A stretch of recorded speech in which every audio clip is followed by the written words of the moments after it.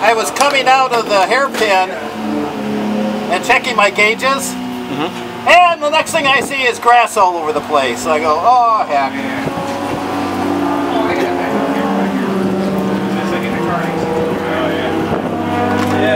That's how you drink cool, refreshing water.